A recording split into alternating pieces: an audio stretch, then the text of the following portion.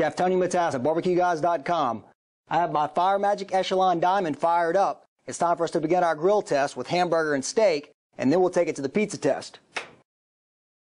I'll place the hamburgers out around the grill so we can get a good overall representation of Echelon's grilling evenness, followed by a couple of steaks over the E-burners, and I'll place one over the sear burner so we can check it out.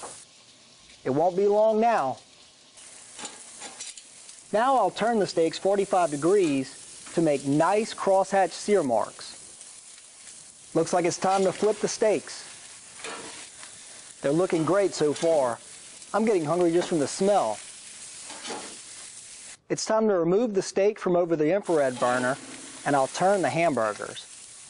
We're getting perfect flame kiss without any runaway fires. Now it's time for the steaks over the E-burners to come off. I'll come back in a minute to get the hamburgers. They look awesome. I'll bring them back to my table so that you can get a close-up look at everything.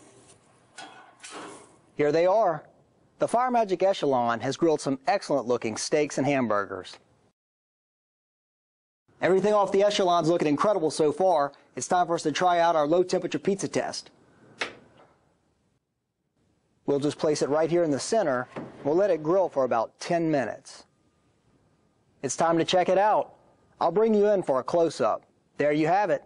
The Echelon has performed great on the low temperature test as well. Thank you for watching. To learn more about the Fire Magic Echelon Grill, please follow our link or give us a call. Remember, here at barbecueguys.com, we smoke the competition.